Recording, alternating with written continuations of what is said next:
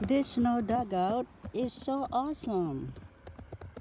As awesome as Our Lady of Guadalupe in this beautiful book, The Rose and the Tilma, written by Juanita de Guzman Gutierrez, available now at Amazon, Xlibris, all bookstores worldwide, in ebook, Kindle paperback format, and at Juanita de Guzman Gutierrez Amazon Author Central page.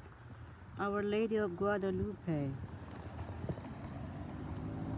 appeared in 1500s in wintertime after she asked Juan Diego to gather roses.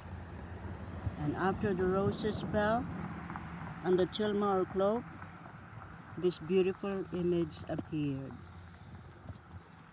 Merry Christmas and a Happy New Year to all. Happy holidays and winter time in here in the Midwest United States and all over the world. Enjoy.